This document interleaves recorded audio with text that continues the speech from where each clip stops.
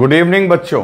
तो आज हम लोग पढ़ेंगे प्रोजेक्टाइल मोशन का केस वन आपको याद होगा, कल हमने बताया था आपको कि प्रोजेक्टाइल मोशन एक फ्री फॉल मोशन का ही एग्ज़ाम्पल है, जिसमें पार्टिकल आपका टू डायमेंशनल मोशन परफॉर्म करता है। और टू डायमेंशनल मोशन परफॉर्म करने का मतलब ये हुआ कि इसका एक्स कोऑर्डिनेट और वाई कोऑर्डिनेट पार्टिकल्स के दोनों ही कोऑर्डिनेट टाइम के साथ चेंज करेंगे। बच्चों प्रोजेक्टाइल मोशन में जो पार्टिकल चल रहा होता है वो एक पैराबोलिक पाथ पे चल रहा होता है। क्लियर और मैंने आपको ये भी बताया था कि ये एकमात्र ऐसा एग्ज़ाम्पल है जहाँ पार्टिकल चल रहा होता है कर्व पाथ पे, लेकिन उसका एक्सेलरेशन जो है वो क्या होता है? कांस्टेंट एक्सेलरेशन होता है कांस्टेंट जो जिसकी वैल्यू कितनी होती है? G that is in downward direction clear चलो। तो आज हम लोग आगे बात करते हैं इसके बारे में। ठीक है बच्चों? तो ये लेक्चर नंबर थर्टी वन हुआ। और आज हम लोग बात करेंगे, आज हम लोग बात करेंगे केस वन की। तो आपको मैंने कहा था कि प्रोजेक्टाइल को मैंने आपके सामने टोटल चार केस में डिवाइड किया था और कहा था कि एक एक केस करके हम लोग पढ़ेंगे। अच्छा एक बात और आपसे मेरे को कहना है कि आप प्रोजेक्टाइल मोशन को पढ़ने से पहले, यानी इस पॉइंट को, आज वाले केस को स्टडी करने से पहले, कल भी मैंने आपको ये बात कही थी कि आप motion under gravity in one dimension जो मैंने आपको पढ़ाया था मोशन अंडर ग्रेविटी आप एक बार उसको रिवाइज ज़रूर कर लो। क्योंकि उसके कॉन्सेप्ट्स यहाँ पे काम आएँगे आपको। समझ गए ना? उसके कॉन्सेप्ट्स यहाँ पे काम आएँगे। क्लियर है? चलो। तो देखते हैं। तो केस वन था अपना। तो बच्चों, हम लोग आज हेडिंग देंगे केस वन आप याद करो केस वन में मैंने क्या लिखाया था कि if body if body is projected body is projected from earth surface body is projected from earth surface अगर बॉडी को आपने अर्थ सरफेस से क्या किया है? प्रोजेक्ट किया है। ओके तो ये केस अपने को आज पढ़ना है। और अर्थ पे ही आके गिरेगा लैंड करेगा। ठीक है? तो केस वन का जो है हेडिंग अपना ये। चलो तो ये अपनी क्लास की शुरुआत हो गई। अब देखो, बच्चों, सबसे पहले हम लोग वो डायग्राम ड्रॉ करना चाहते हैं कि आखिर बॉडी को अगर अर्थ से थ्रो करेंगे तो बॉडी कैसा मोशन करेगा? पहली बात है, ये मान लो हॉरिजॉन्टल सरफेस है। आपने एक बॉडी को यहाँ से थ्रो किया। ठीक है? जिसको हम लोग थ्रो करते हैं बच्चों, उसको हम लोग बोलते हैं प्रोजेक्टाइल क्या बोलते हैं? प्रोजेक्टाइल। जिसे फेंका जाता है, जिसे थ्रो किया जाता है, उसे प्रोजेक्टाइल बोलते हैं, या बॉडी भी बोल सकते इसको हमने कुछ एंगल पे, हॉरिजॉन्टल से थीटा एंगल पे थ्रो किया। मोशन द ग्रेविटी में यही काम हम लोग करते थे, लेकिन वहाँ थीटा की वैल्यू 90 होती थी। चीज़ों को सीधा वर्टिकली ऊपर फेंकते थे और ये ऊपर जाके फिर मेरे हाथ में आ जाता था। याद करो आप आप हम लोग मोशन द ग्रेविटी में क्या कर रहे थे? कि यहाँ यू से हमने ऊपर फेंका और तब ये ऊपर गया सीधा और फिर वहाँ से ये वापस रिटर्न हुआ। यही मोशन द ग्रेविटी में हो रही थी। यानी बिल्कुल वाई के लॉन्ग लेकिन आज बिल्कुल वाई के लॉन्ग नहीं फेंका गया है। इसे हॉरिजॉन्टल से सर्टेन एंगल पे फेंका गया है। तो अगर ऐसे फेंकते तो, तो ये वन डायमेंशन ही हो जाता। अब ये ऐसे फेंकने का मतलब ही है कि ये टू डायमेंशन के अंदर आ रहा है। कैसे? तो जब इसको आप थ्रो करोगे तो आप प्रिडिक्ट कर सकते हो कि जो इसका रास्ता होगा बच्चों, इसका जो पाथ होगा, वो कुछ इस प्रकार का होगा, है ना? कुछ इस प्रकार का होगा। तो इसके रास्ते के सारे पॉइंट्स के बारे में मैं पहले आपको बता दूँ, परिचय करवा दूँ हर एक चीज़ से। देखो, अब ये यहाँ से ऐसे इस रास्ते को फॉलो करता हुआ गया। ये जो रास्ता है, इस रास्ते का नाम मैंने आपको कल भी बताया था। This is parabolic parabolic parabolic path इसको क्या बोलते हैं बच्चों? पैराबोलिक पाथ ठीक है?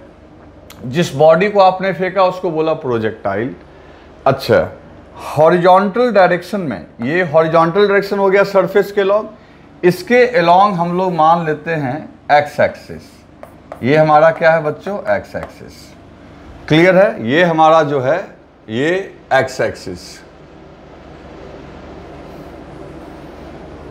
आ रही है बात समझ में? ये हमारा एक्स एक्सिस और वर्टिकल डायरेक्शन में जब हम लोग अध्ययन करेंगे इसके मोशन को, ये हमारा हो गया वाई एक्सिस तो हम लोग बोल सकते हैं कि ये जो मोशन हमारा हो रहा है एक्स एक्सिस और वाई एक्सिस के बीच में। अच्छा जिस एंगल पे तुम थ्रो करोगे, वो एंगल थीटा कहलाएगा। Angle of projection angle of projection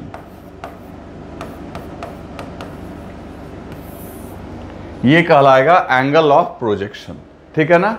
जिस एंगल पे आप उसको फेंकोगे। अच्छा जिस पॉइंट से आप फेंकोगे, ये पॉइंट ये जगह कहलाएगी। ये जगह कहलाएगी point of projection point of projection ये सारे पॉइंट ये सारे नेम मैं आपको इसलिए बता रहा हूँ क्योंकि इनका इनकी चर्चा होती है। क्वेश्चंस में होते हैं तो आपको दिक्कत नहीं आनी चाहिए कि क्या पॉइंट ऑफ़ प्रोजेक्शन है, क्या एंगल ऑफ़ प्रोजेक्शन है। अच्छा इस रास्ते में जो y के लॉन्ग मैक्सिमम डिस्प्लेसमेंट है, वो यही है। यहाँ देखो, इसकी हाइट बढ़ती जा रही है, बढ़ती जा रही है। यहाँ मैक्सिमम हो गई हाइट फिर घटने लगी। तो ये जो है बच्चों, y के लॉन्ग y एक्सिस के लॉन्ग मैक्सिमम डिस्प्लेसमेंट है। इसे कहा जाएगा एच मैक्स आपको याद होगा कि वन डायमेंशन जब हम लोग पढ़ रहे थे y के लॉन्ग यहाँ भी इस हाइट को एच मैक्स ही बोल रहे थे। ठीक है ना? तो सेम यहाँ भी इसको मैक्सिमम हाइट बोला जाएगा। क्लियर है? अच्छा ये यहाँ पे जो आके गिरा इसको कहेंगे point of point of landing क्या बोलेंगे बच्चों? पॉइंट ऑफ़ लैंडिंग लैंड करना मतलब गिरना। जहाँ जाके गिरेगा, उसको बोलेंगे पॉइंट ऑफ़ लैंडिंग क्लियर हो गया? अच्छा ये देखो, ये टू डायमेंशन मोशन है। इस बात का प्रमाण ये है कि ये y के लॉन्ग भी डिस्प्लेसमेंट कवर किया। हालाँकि फाइनली y के लॉन्ग जैसे यहाँ गया और आया, पूरे जर्नी का डिस्प्लेसमेंट ज़ीरो हो जाएगा, क्योंकि जहाँ से गया वहीं आया। यहाँ भी y के लॉन्ग डिस्प्लेसमेंट देखो ये इनिशियल पॉइंट हुआ, ये फाइनल पॉइंट हुआ। तो y के लॉन्ग तो कोऑर्डिनेट ज़ीरो का ज़ीरो ही रह गया, क्योंकि यहाँ भी y कोऑर्डिनेट ज़ीरो है और यहाँ भी y कोऑर्डिनेट तो ज़ीरो ही है। लेकिन एक्स कोऑर्डिनेट तो बढ़ गया ना भाई। एक्स के लॉन्ग तो डिस्प्लेसमेंट हुई, क्योंकि ये बॉल इनिशियली यहाँ था, अब यहाँ जाके गिरा हुआ मिल रहा है आपको। तो ऊंचाई तो धरती से इसकी ज़ीरो की ज़ीरो रह गई, लेकिन एक्स के लॉन्ग तो इसने डिस्प्लेसमेंट कवर किया। एक्स के लॉन्ग जो डिस्प्लेसमेंट कवर किया तो ये जो दूरी है बच्चों, जरा ध्यान देना, ये जो एक्स के लॉन्ग जो मैक्सिमम दूरी तय किया इसने, ये वाली दूरी डेल्टा एक्स इसको हम लोग यहाँ पे आर बोलेंगे। आर का मतलब क्या हो गया बच्चों? ये आपका है रेंज इसको हम लोग क्या बोलेंगे? रेंज आ रही है बात समझ में? तो कोई पूछेगा, प्रोजेक्टाइल मोशन में रेंज क्या हुआ? तो रेंज जो हुआ बच्चों, वो हो गया आपका मैक्सिमम हॉरिजॉन्टल डिस्टेंस। अब ये सब चीज़ें लिखवाने वाली बात नहीं है, आप सुन रहे हो और देख रहे हो। अगर आप भूल जाओगे तो आप लिख लेना, ठीक है ना? तो ये मैक्सिमम हॉरिजॉन्टल डिस्टेंस हो गया, जो पॉइंट ऑफ़ प्रोजेक्शन से पॉइंट ऑफ़ लैंडिंग के बीच है। ओके बच्चों, अब देखो इस मोशन को, जैसे यहाँ देखो, याद करो मोशन द ग्रेविटी में। ये जाने के मोशन को हम लोग बोलते थे एसेंडिंग जर्नी याद है? जाने के मोशन को बोलते थे एसेंडिंग जर्नी और आने के मोशन को बोलते थे हम लोग डिसेंडिंग जर्नी जाने को एसेंडिंग आने को डिसेंडिंग जाने में लगने वाले टाइम को टाइम ऑफ़ एसेंट आने में, आने, होने वाले टाइम को टाइम ऑफ़ डिसेंट आपको याद होगा, ये टी ए था, ये टी डी था। और इन दोनों का जो सम होता था t a plus t d इसको हम लोग बोलते थे टाइम ऑफ़ फ़्लाइट मतलब कितनी देर तक वो हवा में उड़ता रहा, उसको हम लोग क्या बोलते थे? टाइम ऑफ़ फ़्लाइट ठीक इस तरीके से बच्चों, यहाँ भी अगर बात की जाए, यहाँ भी अगर बात की जाए तो इस पॉइंट से लेके, ये मान लो पॉइंट ओ है, और ये है ए एंड ये है बी है ना? तो ओ से लेके ए तक की जर्नी। अब इसे मैं रब कर दे रहा हूँ, ठीक है? ये तो पहले हम लोग पढ़ चुके हैं। ये हम लोग पहले पढ़ चुके हैं बच्चों तो इसको इसमें लिखने का कुछ है नहीं। तो इसको मैं रब कर दे रहा हूँ। तो देखो यहाँ पे तो यहाँ पे भी हम लोग कह सकते हैं, ओ से ए तक की जो जर्नी है, ओ से ए तक की जो जर्नी है, वो असेंडिंग जर्नी होगी, और ए से बी तक की जो जर्नी है बच्चों, वो कौन सी जर्नी होगी? डिसेंडिंग जर्नी होगी। तो सीधी सी बात है, देखो यहाँ पे मैं लिख दे रहा हूँ अलग से। ओ ओ से ए, ओ से ए, ये हो गई कौन सी journey?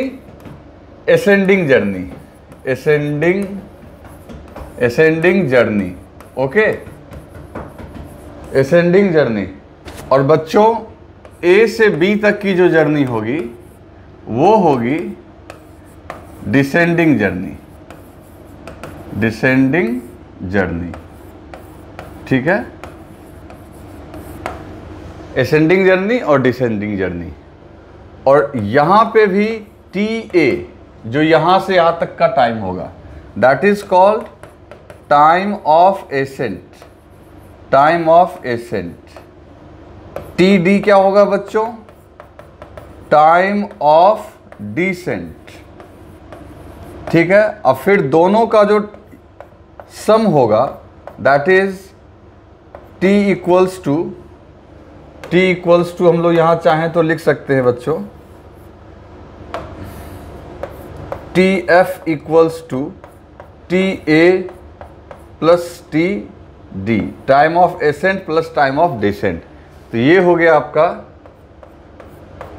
टाइम ऑफ़ फ़्लाइट क्या हो गया बच्चों? टाइम ऑफ़ फ़्लाइट क्लियर है? तो आप ये जितना भी टर्म मैंने लिखवा दिया, इसलिए ताकि आपको पढ़ने में दिक्कत ना हो, समझने में दिक्कत ना हो। तो पहले इन टर्म्स को आप लिख दो, ठीक है? और उसके बाद फिर हम लोग आगे की बात करते हैं। जल्दी से लिखो।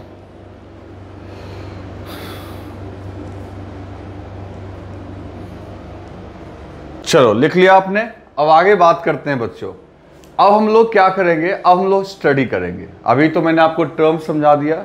अब हम लोग प्रोजेक्टाइल में अभी जितने भी टर्म्स तुमने देखे, चाहे वो रेंज हो, चाहे वो हाइट हो टाइम ऑफ़ फ़्लाइट हो, ये सारी चीज़ें जो है अभी हम लोग कैलकुलेट करेंगे। ठीक? और ये कैलकुलेट करने के लिए अपने को प्रोजेक्टाइल के मोशन को स्टडी करना पड़ेगा। और प्रोजेक्टाइल मोशन एक टू डायमेंशन मोशन है। तो आप क्या करोगे? बहुत सिंपल है। आप जैसा कि बाकी 2D के लिए कर रहे थे, जो मैंने आपको समझाया है कि आप मोशन को दो पार्ट में, दो वन डायमेंशन में कट कर लो। और फिर एक्स एक्सिस को अलग स्टडी करो वाई एक्सिस को अलग स्टडी करो। ओके तो अब हम लोग अपना काम शुरू करते हैं। तो एक बार फिर से वो डायग्राम हम लोगों को बनाना होगा।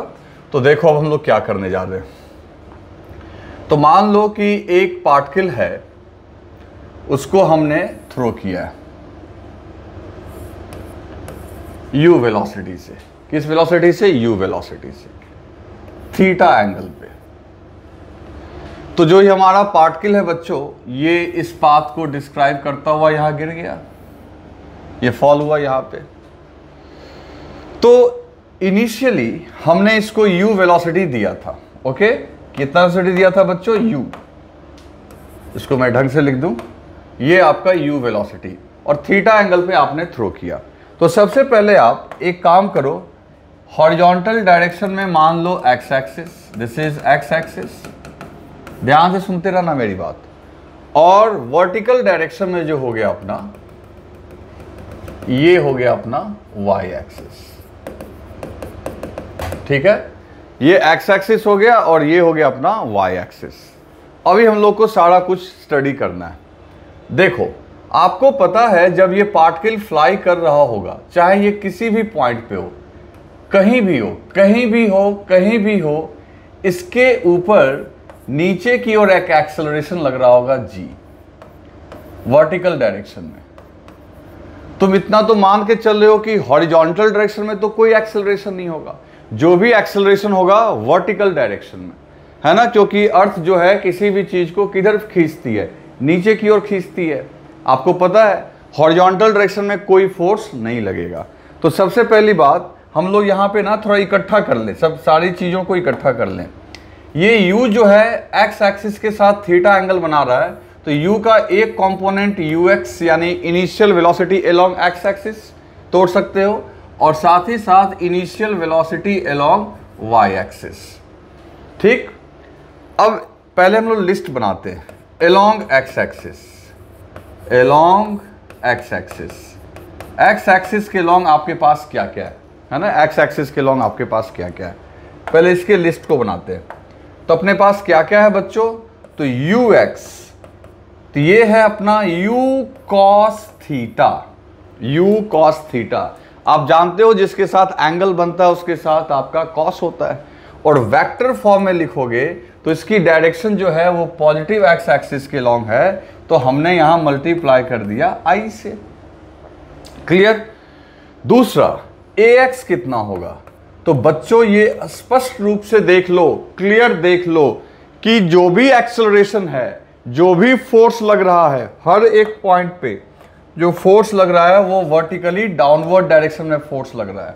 कौन सा फोर्स ग्रेविटेशनल फोर्स तो किसी भी हालत में जो एक्सेलरेशन है, वो डाउनवर्ड डायरेक्शन में ही आएगा। हॉरिजॉन्टल डायरेक्शन में कोई फोर्स नहीं लग रहा है। ध्यान से सुनो मेरी बात। हॉरिजॉन्टल डायरेक्शन में कोई फोर्स नहीं लग रहा है। तो एक्सेलरेशन का कोई कंपोनेंट हॉरिजॉन्टल डायरेक्शन में नहीं आएगा बच्चों।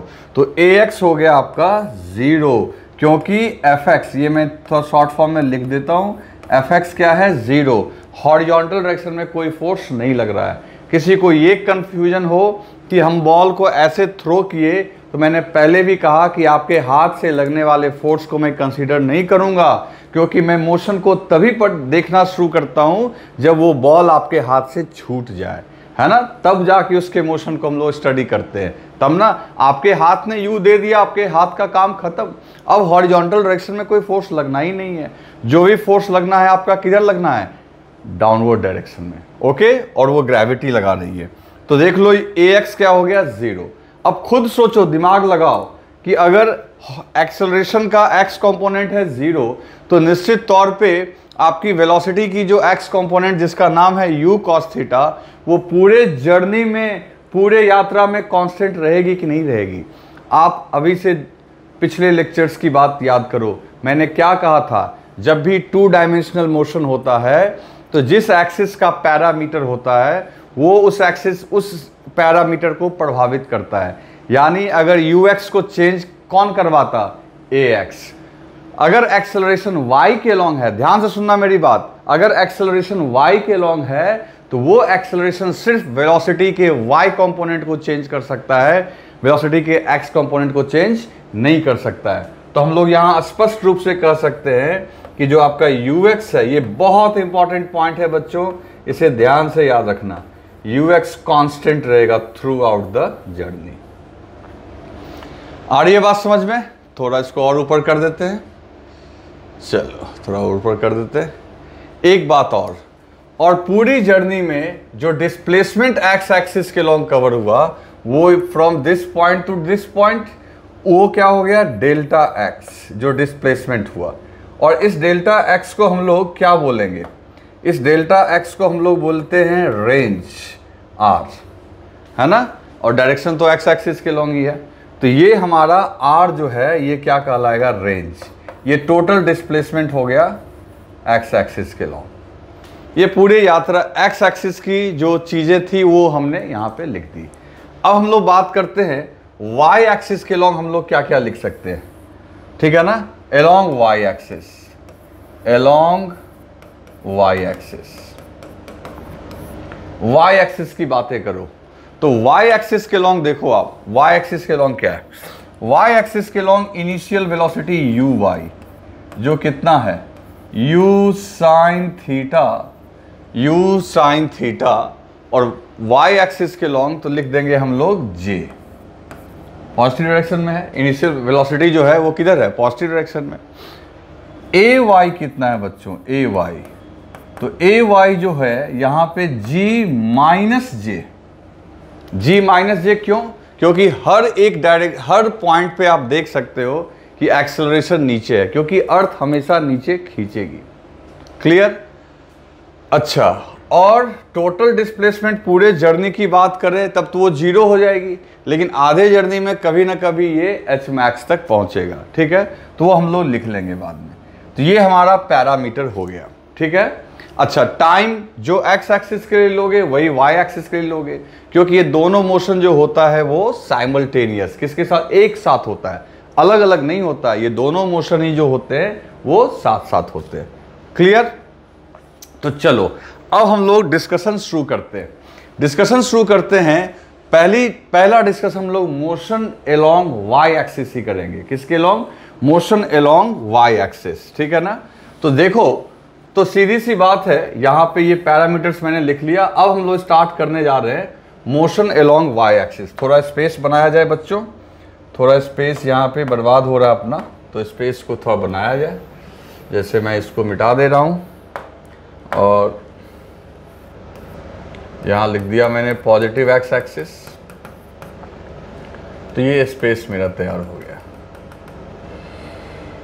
तो देखो दोस्तों अब हम लोग डिस्कस करने जा रहे हैं motion along motion along y axis ठीक है? अब बात करते हैं बच्चों, इस पॉइंट को ओ मान लेते हैं और ये टॉप मोस्ट पॉइंट है ए और ये है बी तो पहले हम लोग बात कर ले ओ से ए तक. अब ये जो जी है, इन सबको मैं रब कर दे रहा हूँ. इनका कोई खास यूज़ मतलब अब इनको दिखाना था बस तुम्हें ये कि देखो सारे जगह जो एक्सेलरेशन है वो नीचे लग रहा है, ठीक है? नीचे ही लग रहा है हर एक पॉइंट पे। तो अब जरा ध्यान देना। तो पहले मैं बात करने जा रहा हूँ कहाँ से कहाँ तक? ओ से ए तक, है ना? ओ टू ए ओ टू ए तो बच्चों अब बात करते हैं मोशन अलोंग वाई एक्सिस की। तो ये कोई ऐसा नहीं है कि आप कुछ नया इसमें दिमाग लगाना पड़ेगा। ये जो हमने दो पार्ट में बांटने का जो सोचा है ना मोशन को, उससे बहुत आसान हो जाएगा। आप इसको तो प्रोजेक्टाइल मानो ही मत ना। लोग प्रोजेक्टाइल को डिफ़िकल्ट बोलते हैं। आप ये सोचो ही मत कि आप प्रोजेक्टाइल मोशन पढ़ रहे हो। आप ये सोचो कि आप वन डायमेंशन का दो कंडीशन एक साथ पढ़ रहे हो। एक वाई के लॉन्ग एक एक्स के लॉन्ग तो रही बात मोशन लॉन्ग वाई एक्सिस तो पहले हम लोग बात करते हैं एसेंडिंग मोशन का, सिर्फ़ ज़ीरो से ए तक का. तो ज़ीरो से ए तक जो है आपका, ये एसेंडिंग मोशन हो गया. एसेंडिंग मोशन अब इसमें देखो क्या हो रहा है. इनिशियल वेलोसिटी आपकी ऊपर की ओर है. कितनी? यू वाई जिसकी वैल्यू कितनी है? यू साइन थीटा और एक्सेलरेशन किधर लग रहा है? नीचे जी तो आप वन डायमेंशन के हिसाब से सोचो कि अगर किसी बॉडी को फेंकते तो पहले हम लोग यू से फेंकते थे, आज फ़र्क इतना है कि उसको यू साइन थीटा से फेंक रहे हो, जो यू वाई का रोल प्ले कर रहा है। तो क्या होता? ये धीरे धीरे ऊपर जाता और कहीं ना कहीं जाके इसकी वेलोसिटी क्या होती? ज़ीरो अब यहाँ पे क्या है? यही काम देखो हो रहा है। यहाँ से ये जब जा रहा है तो ये आप ये मत सोचो कि हॉरिजॉन्टल कुछ हो रहा है। आप देखो हाइट इसकी बढ़ती चली जा रही है। हाइट कब तक बढ़ेगी? हाइट कब तक बढ़ेगी? जब तक कि इसकी जो वेलोसिटी है, उसका y कंपोनेंट यानी y एक्सिस के लॉन्ग वेलोसिटी ज़ीरो ना हो जाए। और ज़ीरो क्यों होगा? तो क्योंकि g लगातार नीचे खींच रही है। तो इतना तो क्लियर हो गया बच्चों कि ये ए जो पॉइंट है, यहाँ पे वेलोसिटी का y कंपोनेंट पक्का ज़ीरो होगा। वेलोसिटी का y कंपोनेंट क्यों ज़ीरो होगा बच्चों? क्योंकि यहाँ के बाद हाइट बढ़नी बंद हो गई। तो सीधी सी बात यह है कि ये जो आपका एच मैक्स है, ये जो मैक्सिमम हाइट है, इसे हम लोग आराम से निकाल सकते हैं। यहाँ से यहाँ तक पहुँचने का टाइम भी निकाल सकते हैं। तो सीधी सी बात है, देखो ओ से ए तक के लिए। तो फॉर्मूला देखो, अब एक्सेलरेशन आपका क्या है?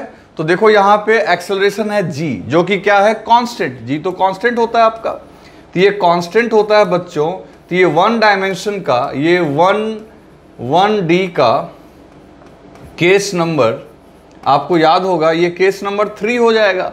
जहाँ पे कांस्टेंट एक्सेलरेशन के लिए जो आप इक्वेशन यूज़ करते थे, उस इक्वेशन को आप यहाँ यूज़ कर सकते हो। दैट मीन्स कि आप क्या करोगे? V y equals to u y plus a y into a y into t a time of ascent final velocity है बच्चों ज़ीरो ठीक है ना? ब्लैक कलर से ही लिखते हैं। फाइनल वेलोसिटी है ज़ीरो इनिशियल है आपकी यू साइन थीटा एक्सेलरेशन है जी और टाइम ऑफ़ एसेंट हो गया टी ए है ना? पहले आप मोशन मोशन अंडर ग्रेविटी में यू से फेंकते थे। आज फ़र्क है, बस आप किससे फेंक रहे हो? यू साइन थीटा से। तो इसको इधर ले आओ। तो ये हो गया जी टी ए तो g t a equals to u sine theta तो टाइम ऑफ़ एसेंट बच्चों आ गया। T a equals to u sine theta upon g तो सबसे पहली सफलता हमें मिल गई है। टाइम ऑफ़ एसेंट हमने ओ से ए तक का टाइम निकाल लिया। क्लियर चलो, अब बात करते हैं कि ये हाइट कितनी होगी, है ना? तो इसके लिए भी काम कर सकते हैं। इसके लिए कैसे काम करेंगे बच्चों? तो एक इक्वेशन हम लोग और लिख सकते हैं। क्या लिख सकते हैं? V square equals to u square u y square plus two a y dot delta y आपको याद होगा केस थ्री में ये काम लोग करते थे। Final velocity square equal to initial velocity square plus two a s जो वाला फॉर्मूला था। तो फाइनल वेलोसिटी यहाँ पे सिर्फ़ वाई कंपोनेंट की बात हो रही है। एक्स की तो मैं बात कर भी नहीं रहा अभी। तो फाइनल वेलोसिटी क्या है आपकी? ज़ीरो और इनिशियल यहाँ ज़ीरो है। इनिशियल कितनी थी?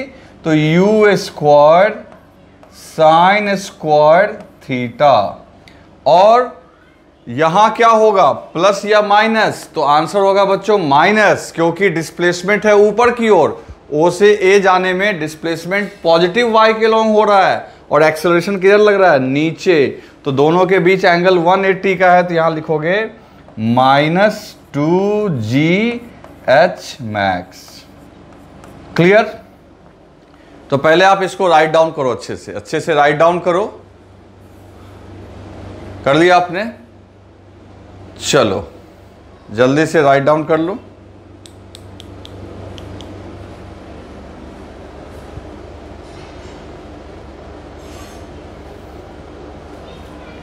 तो बच्चों, अब देखो, वो एच मैक्स तो देखो क्या अभी आया था अपना। So zero squared equals to zero equals to u squared sine squared theta minus two g h max तो बच्चों, यहाँ से एच मैक्स इक्वल्स टू क्या कैलकुलेट होके आया? एच मैक्स इक्वल्स टू आया u squared sine squared theta upon two g आ रही है ना बात समझ में कैसे आया ये?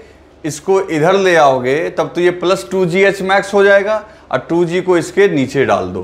तो देखो आपके पास दो चीज़ कैलकुलेट होके आ गया। टाइम ऑफ़ एसेंट और आपका h max time of ascent कितना आया बच्चों अभी हमारा? Two sorry u sine theta by g clear तो अब हमें देखना होगा डायग्राम को तो डायग्राम आप फिर से चाहो तो देख सकते हो, मैं डायग्राम आपको फिर से दिखाता हूँ। डायग्राम देखो, जो डायग्राम आपके कॉपी पे बना हुआ है, वो ये है। तो हमने ओ से ए तक काम कर लिया। अब हम लोग काम कहाँ से कहाँ करेंगे बच्चों? ए से बी तक, यानी डिसेंडिंग मोशन के लिए।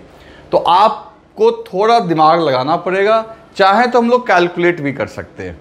आप याद करो कि वन डायमेंशन जो हम लोग ग्रेविटी में पढ़े थे, जिस वेलोसिटी से हम लोग थ्रो करते थे, वापस जब ये हमारे हाथ में आता था तो इसकी स्पीड वही होती थी। जिस स्पीड से आपने फेंका, उसी स्पीड से वापस आया। जितने टाइम में ऊपर गया, उतने ही टाइम में नीचे आया। यानी time of ascent equals to time of descent आप चाहे तो इसको प्रूव भी कर सकते हैं, है ना? इसको हम लोग प्रूव भी कर सकते हैं। तो इसलिए इसमें कोई बड़ी बात है नहीं हम लोग को सॉल्व करने में, और चा, और मैं कर ही देता हूँ, ठीक है? तो अब ये तो हो गया यहाँ से यहाँ तक, ठीक है? अब देखो for descending journey for descending journey मतलब कहाँ से कहाँ की बात चल रही है? For descending journey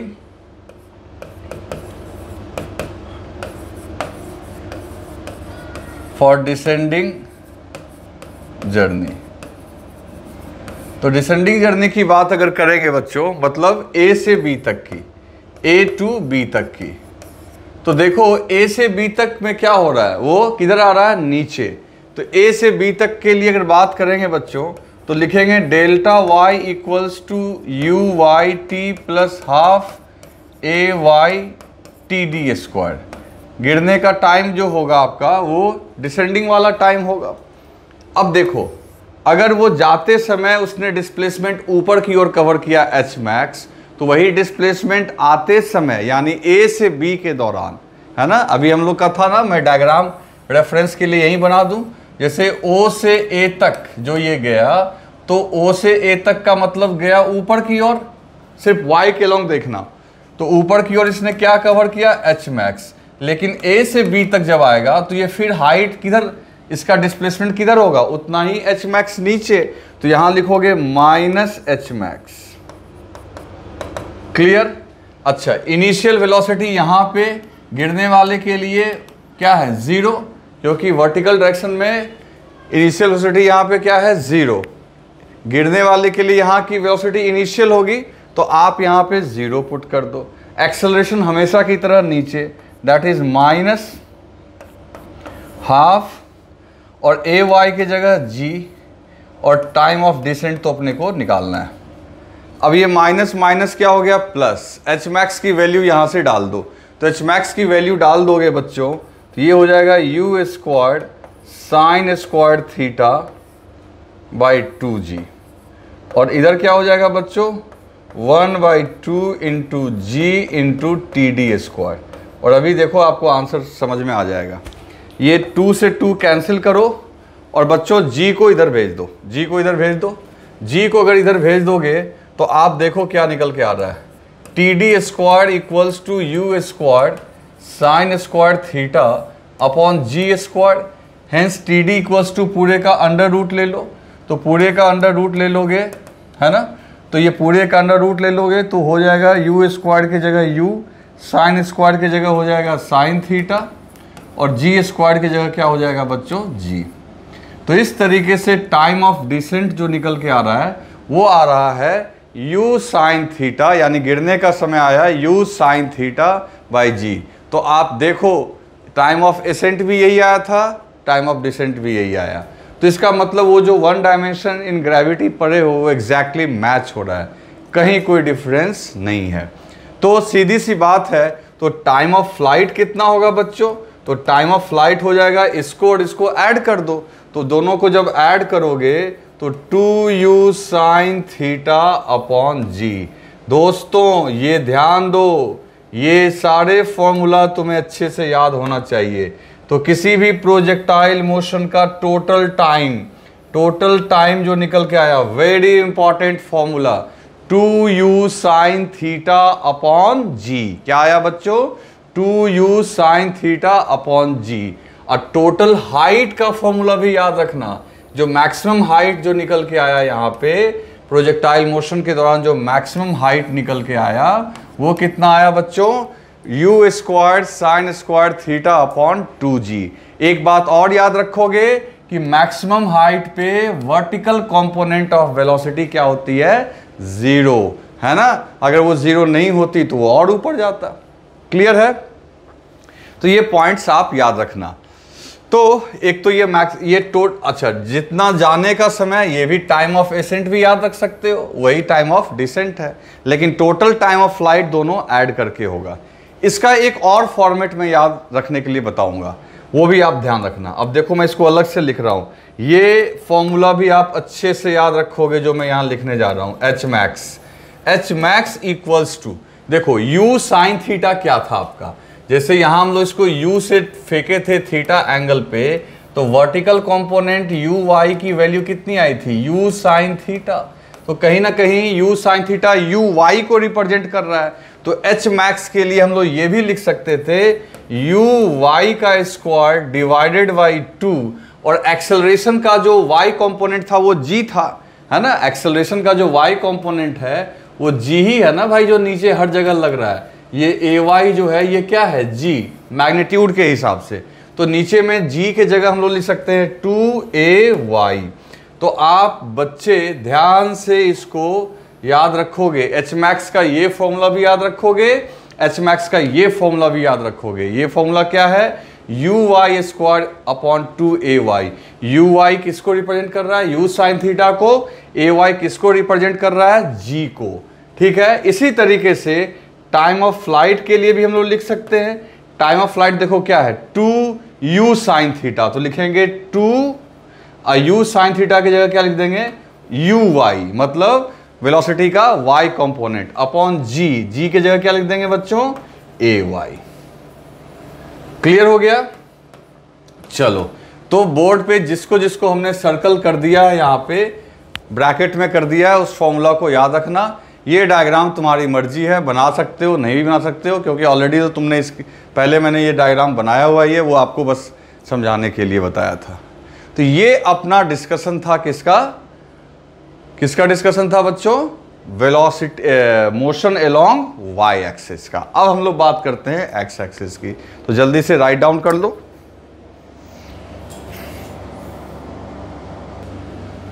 अब बात करते हैं दोस्तों एक्स एक्सिस के लॉन्ग मोशन की। ये वही डायग्राम है, मैंने फिर से बना दिया आपके सामने। आप देख लो। तो ये वाई एक्सिस है। यू के दो कंपोनेंट्स हम लोग तोड़ रहे थे।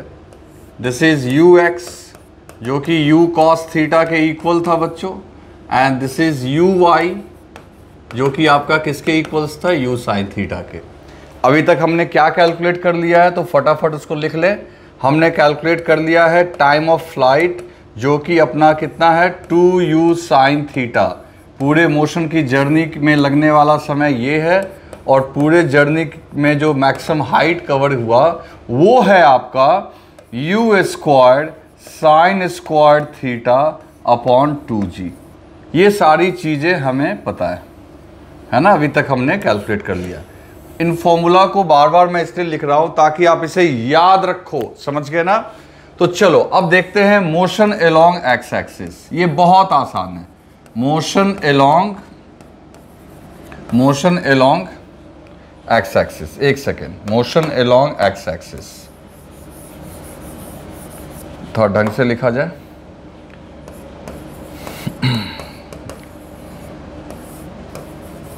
मोशन एलोंग एक्स एक्सिस तो बच्चों, एक बात समझो। पहली बात समझो मेरी।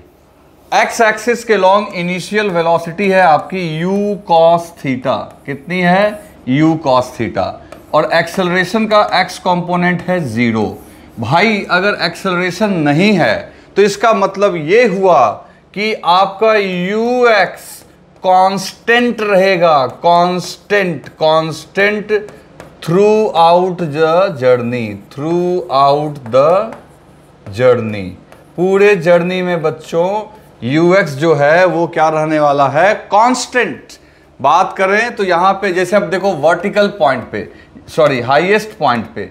तो हाईएस्ट पॉइंट पे अभी कुछ देर पहले हमने लिखा था कि वी वाई होगा ज़ीरो वेलोसिटी का y कंपोनेंट होगा ज़ीरो, लेकिन वेलोसिटी का एक्स कंपोनेंट यहाँ पे तब भी होगा, और वो किसके इक्वल होगा?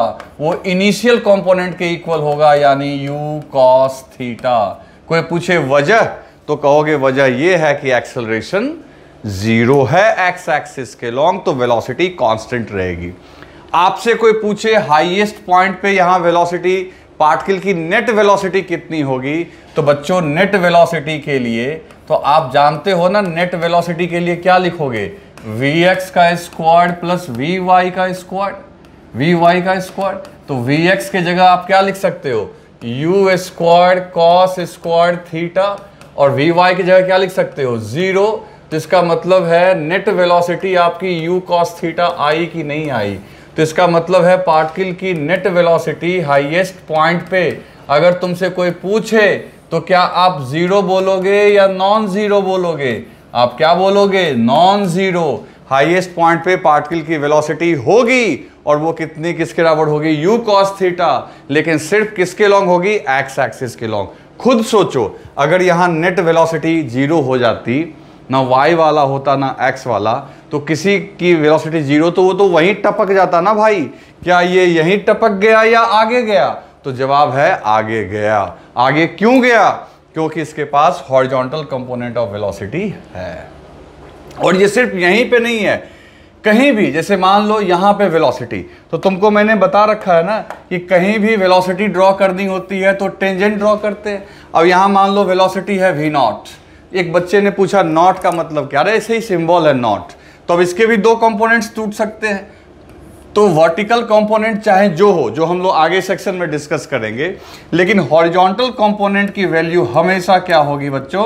u cos थीटा यहाँ भी u cos थीटा जिस समय ये गिरेगा, उस समय भी जो हॉरिजॉन्टल कंपोनेंट होगा, वो u cos थीटा ही होगा बच्चों। क्योंकि हॉरिजॉन्टल कंपोनेंट आपका हमेशा क्या रहना है? कांस्टेंट वजह क्या है? एक्सेलरेशन ज़ीरो इस बात को मैं बार बार रिपीट कर रहा हूँ, आप ध्यान दो। हॉरिजॉन्टल कंपोनेंट को कभी चेंज मत करवाना। और उसका वजह क्या है? एक्सेलरेशन हॉरिजॉन्टल डायरेक्शन में क्या है? ज़ीरो आप हमेशा इस बात को याद रखें। और ये सारा पॉइंट्स भी आप लिख लेंगे कि हाईएस्ट पॉइंट पे नेट वेलोसिटी ज़ीरो नहीं होती है। ठीक? चलो। मेन मेरा मकसद क्या है? मेरा मकसद है कि हॉरिजॉन्टल डायरेक्शन में ये जो टोटल डिस्प्लेसमेंट यहाँ से यहाँ के बीच कवर किया गया, जिसको हम लोग आर बोल रहे हैं, इस आर की वैल्यू कितनी होगी? तो बच्चे, आप देखो, अगर एक्सेलरेशन ज़ीरो है तो मोशन एलोंग एक्स एक्सिस जो हो गया हो गया, ये वन डी का कौन सा केस हो गया? ये वन डी का हो गया केस नंबर याद करो केस नंबर टू क्योंकि केस नंबर टू में अपना एक्सेलरेशन क्या होता था? ज़ीरो और एक्सेलरेशन ज़ीरो होने का मतलब है कि उस केस में जो डिस्प्लेसमेंट निकालोगे, उसके लिए सीधा वेलोसिटी को टाइम से मल्टीप्लाई कर दो। वेलोसिटी को टाइम से मल्टीप्लाई कर दो तो डिस्प्लेसमेंट मिल जाएगा। अगर टोटल डिस्प्लेसमेंट चाहिए एक्स एक्सिस के लॉन्ग तो उस टोटल डिस्प्लेसमेंट का क्या नाम है बच्चों? ध्यान से देखो आर क्या नाम है? आर आर मतलब रेंज और पूरे जर्नी में हॉरिजॉन्टल कंपोनेंट कितना है? यू कॉस थीटा ये कांस्टेंट रहेगी. और पूरे जर्नी में लगने वाला टाइम कितना होगा बच्चे? तो ध्यान से सुनो टू डायमेंशन मोशन पढ़ते समय ही मैंने आपको बोला था कि जो टाइम आप y के लॉन्ग निकाले हो, वही टाइम आप x के लॉन्ग भी यूज़ करोगे, क्योंकि ये दोनों मोशन एक साथ होता है। तो टाइम हमें अलग से फिर नहीं चाहिए। पूरे जर्नी के दौरान ही ना आर कवर हुआ है।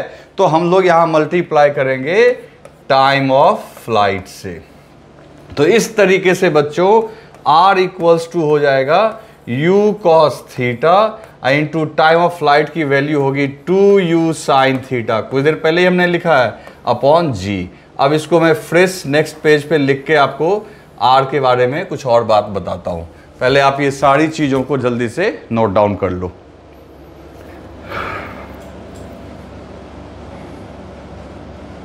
तो दोस्तों, अब देखो रेंज इक्वल टू क्या अपना भी आ रहा था? U cos theta into two u sine theta upon g ठीक है? अब इसको थोड़ा ढंग से हम लोग लिख लेते हैं। तो ढंग से लिखेंगे बच्चों तो r इक्वल्स टू देखो, अब यहाँ पे टू u इंटू यू क्या आ गया बच्चों? This is u square and two sine theta into cos theta two sine theta into cos theta upon g अब आप याद करो ट्रिगोनोमेट्री व्हाट इज़ दिस तो बच्चों दिस इज़ यू स्क्वायर इसको आप लिख सकते हो साइन टू थीटा क्या लिख सकते हो? Sine two theta upon g है ना? तो दोस्तों रेंज का फॉर्मूला जो अपना कैलकुलेट होके आया, ध्यान से देख लो, सारे फॉर्मूलों को आप अच्छे से याद रखोगे भाई। ये निकल के आया u square sine two theta upon g और इसका एक और फॉर्मेट जो मैं हर एक के लिए लिख के दिखा रहा हूँ आपको, उस दूसरे फॉर्मेट में अगर इसे लिखें तो range equals to what is range equals to तो देखो, u cos थीटा को आप लिख सकते हो u x u sine theta को लिख सकते हो यू वाई एंड g को आप लिख सकते हो ए वाई तो simply this is r equals to हम लोग लिख सकते हैं बच्चों यहाँ पे. Two u x into u y upon a y आप इस फॉर्मेट में भी इसे याद रखेंगे. Two into u x into u y upon a y clear तो इस तरीके से आप देखो आपने एक्स एक्सिस के लिए भी काम कर लिया, ठीक है? अब एक बार मैं फिर आपको इन तीनों फॉर्मूला को लिख के यहाँ रख देता हूँ। आप भी लिख लेना। देखो, ये सब फॉर्मूला जो है ना, तीनों, ये इंपॉर्टेंट फॉर्मूला है। इन तीनों में कन्फ्यूज़न क्या है कि तीनों में ही कहीं ना कहीं बार बार यू साइन थीटा और जी का यूज़ है। तो आप ना लिख के इसे याद रखते रहना। देखो टाइम ऑफ़ फ़्लाइट क्या आया? Two u sine theta upon g ध्यान से देखते जाओ। एच मैक्स क्या आया बच्चों? एक्स मैक्स आया u square sine square theta upon two g और आर क्या कैलकुलेट हो गया है बच्चों? U square sine two theta upon g फ़र्क देख रहे हो? तीनों में नीचे जी तो है। इसमें इसमें यू स्क्वायर है। अब यहाँ देखो टू आगे मल्टीप्लीकेशन में है। यहाँ टू डिवीज़न में है। और इसमें टू एंगल के मल्टीप्लीकेशन में टू थीटा तो बस ये कोई रिलेशन नहीं है, बस मैं आपको समझा रहा हूँ कि इतना कन्फ्यूजिंग है तो बच्चे ना मिस्टेक करते रहते हैं कभी टू नीचे कभी। तो आप इसको अच्छे से राइट डाउन कर लो और इसे बार बार रिवाइज करना और इस फॉर्मेट में भी याद रखना तीनों को। क्लियर चलो, अब कुछ और बात मैं बता रहा हूँ।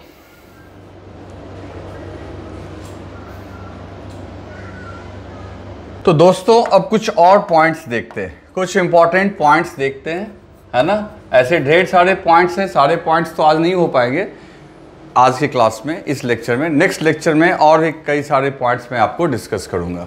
तो इंपॉर्टेंट पॉइंट्स इंपॉर्टेंट पॉइंट्स अब ये हम लोग लिखते जाएँगे, है ना? जो कि बहुत अपने को मदद करेगा जब कभी भी हम लोग इसके प्रॉब्लम्स को सॉल्व करेंगे। एक तो पॉइंट नंबर वन देखो, जो अभी हमने देखा कि अगर हम इसे u से फेंक रहे हैं थीटा एंगल पे तो ये इस तरीके से जाके फॉल हो रहा है। बच्चों, अपने दिमाग में एक बात आनी चाहिए कि जैसे कि इसका कंपोनेंट आप देखो यहाँ पे यू एक्स कॉम्पोनेंट आपका आ गया था यू कॉस थीटा जो पूरे मोशन के दरमियान कांस्टेंट रहना है। वर्टिकल कंपोनेंट जो आपका था, वो यू वाई था which is u sine theta तो जब ये यहाँ पे गिरेगा, जब ये लैंडिंग पॉइंट पे होगा तो यहाँ के वेलोसिटी के बारे में भी तो अपने को सोचना चाहिए। हाईएस्ट पॉइंट पे तो अपने को पता चल गया कि यहाँ सिर्फ़ और सिर्फ़ जो एक हॉरिजॉन्टल कंपोनेंट ऑफ़ वेलोसिटी होगी वी एक्स जो कि यू एक्स के बराबर होगी and that is u cos theta यहाँ पे वी वाई क्या होगी? ज़ीरो ये भी पता चल गया अपने को। लेकिन ये जो लैंडिंग पॉइंट है, यहाँ पे क्या होगा?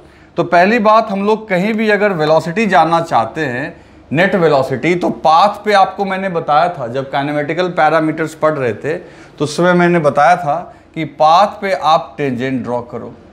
तो ये जो टेंजेंट ड्रॉ करोगे, इसी वेलोसिटी से ये टकराएगा। तो मान लेते हैं इसकी वैल्यू वी नॉट अब फिर वी नॉट से आप कंफ्यूज मत करना। वी नॉट मतलब ऐसे ही एक वेलोसिटी के लिए लिख दिया मैंने। अब इसके दो कंपोनेंट्स होंगे, है ना? एक वी नॉट का एक्स कंपोनेंट होगा और एक डाउन में, यानी, है ना? एक एक्स कंपोनेंट होगा और एक क्या होगा? वाई कंपोनेंट वी नॉट का वाई कंपोनेंट अब सुनते जाओ मेरी बात। वी नॉट का एक्स कंपोनेंट तो पक्की बात है, ये यू कॉस थीटा ही होगा। क्यों यू कॉस थीटा होगा बच्चों? तो सीधी सी बात है कि हॉरिजॉन्टल कंपोनेंट तो हर पॉइंट पे टकराने से ठीक पहले भी वही रहेगा आपका। टकराने से ठीक पहले की बात हो रही है। और जहाँ तक रही बात वी वाई की तो बच्चों, आपको जान के आश्चर्य होगा कि आप जो यहाँ यू साइन थीटा लिखे हो, यहाँ भी मैं यू साइन थीटा ही लिखूँगा। कहोगे, कैसे? तो आपको इसको हम लोग प्रूव भी कर सकते हैं। आप याद करो मोशन अंडर ग्रेविटी में मैंने कहा था कि जिस स्पीड से आप फेंकते हो, वापस आपके हाथ में उसी स्पीड से आता है। बस डायरेक्शन डाउनवर्ड होता है। यही बताया था ना कि जिस वेलोसिटी से आप फेंकते हो, गिरने वाले वेलोसिटी का मैग्नीट्यूड वही होगा, डायरेक्शन डाउनवर्ड होगा। तो ऑटोमेटिकली ये जो डायरेक्शन वाली बात है, वो तो ठीक है, नीचे है, यहाँ ऊपर है, यहाँ नीचे है, लेकिन मैग्नीट्यूड यहाँ भी यू साइन थीटा, यहाँ भी यू साइन थीटा। तो सुनो, मेरी बात सुनो, यहाँ horizontal component u cos theta. Vertical component u sine theta यहाँ भी horizontal u u cos theta vertical u sine theta बस यू साइन थीटा का डायरेक्शन नीचे है। इसका मतलब है कि वी नॉट की वैल्यू यू के बराबर होगी कि नहीं होगी। तो प्रोजेक्टाइल के केस में भी जिस स्पीड से बच्चों थ्रो करोगे, उसी स्पीड से ये नीचे गिरेगा, उसी स्पीड से नीचे गिरेगा। समझ गए? दूसरी बात अगर आपने थीटा एंगल पे फेंका है तो निश्चित तौर पे ये एंगल भी थीटा ही होगा। तभी तो इसका एक कंपोनेंट आपका यू कॉस थीटा के बराबर आ रहा है और ये साइन थीटा। तो ये एक मज़ेदार बात आपने देखी कि आप किसी प्रोजेक्टाइल को जिस एंगल पे एवव द हॉरिजॉन्टल फेंकते हो, जब वो गिरता है तो बिलो द हॉरिजॉन्टल देखो, यहाँ एंगल हॉरिजॉन्टल से ऊपर बन रहा है, यहाँ हॉरिजॉन्टल के नीचे, लेकिन ये दोनों एंगल क्या है? सेम ये बात अपने को याद रखना है। जिस एंगल पे आपने फेंका, उसी एंगल पे फॉल हुआ। जिस स्पीड से फेंका, उसी स्पीड से यहाँ पे ये गिरा। अगर मेरे से कोई पूछ ले क्वेश्चन के फॉर्म में, what is the angle what is the angle angle between initial and final velocity in case of, in case of projectile motion projectile motion. कोई पूछ ले बच्चों कि प्रोजेक्टाइल मोशन के केस में इनिशियल और फाइनल एंगल क्या होगा वेलोसिटी का? तो सुनो, पहली बात देखो इनिशियल वेलोसिटी देखो, इन एक जगह बनाओ। इनिशियल वेलोसिटी जो है वो हॉरिजॉन्टल से एवव थीटा एंगल पे और फाइनल वेलोसिटी जो है वी नॉट वो हॉरिजॉन्टल से नीचे है, ये वी नॉट हो गई। कहोगे, सर, आप दोनों को एक ही जगह ले आए। कर सकते हैं। वेक्टर में तो हमने पढ़ा है, किसी भी वेक्टर को स्लाइड करके कहीं ले जाएँगे। अब देखो, इन दोनों वेक्टर का जो है टेल एक पॉइंट पे बन गया। तो दोनों के बीच टोटल एंगल कितना हुआ? टू थीटा तो याद रखना आंसर इसका जो हो गया 180 मत बोल देना। टू थीटा एक थीटा हॉरिजॉन्टल से ऊपर तो टोटल एंगल दोनों के टेल के बीच के बनने वाला हो गया तो ये भी आप ध्यान से रखोगे। समझ गए? दिमाग में सेट रखोगे। ठीक है? तो इसी इंपॉर्टेंट पॉइंट में आज पहला पॉइंट बताया, इसमें तीन चार पॉइंट हैं जो बहुत इंपॉर्टेंट है, जो नेक्स्ट क्लास में मैं बताऊँगा। तो आज के लिए इतना काफ़ी है। आप अच्छे से इसको रिवाइज करना फॉर्मूला को याद करना। ओके बच्चों? Thank you